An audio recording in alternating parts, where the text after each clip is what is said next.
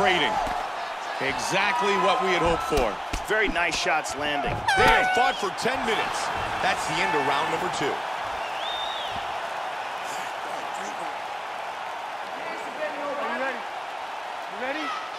Five minutes remains.